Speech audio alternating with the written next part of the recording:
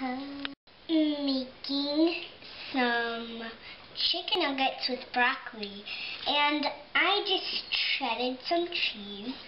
And now I am blending some breadcrumbs in with the cheese. Gonna kind of spread it around. Kind of helps to get all the breadcrumbs on the cheese and you only need one cup. I just used this, like one cup, cup. and um, you just need one scoop. And what are we gonna do next? We are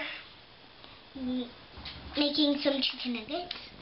And I'm just going to put I'm just going to grab some chicken, swirl it in there till it's all covered, and then put it in here till it's all covered. And I'm going to put it on this eh, tray. and that. Oh man, I'm so gross. I would like to introduce you to our cleaning crew. This is Lula. Lula. Hello. She cleans up our messes, huh?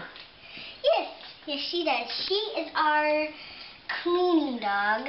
And whenever we're cooking and we make a splatter, she just cleans it up completely. So she's a great cleaning dog and all, but she's also a good playing dog. And a good racing around the house dog. I mean, tearing around the house.